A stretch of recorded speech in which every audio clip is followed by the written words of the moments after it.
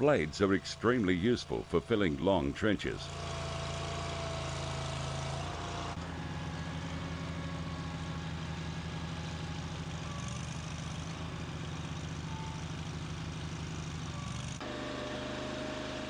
All you have to do is set the angle and drive from end to end. It is also handy for pushing dirt and making drains.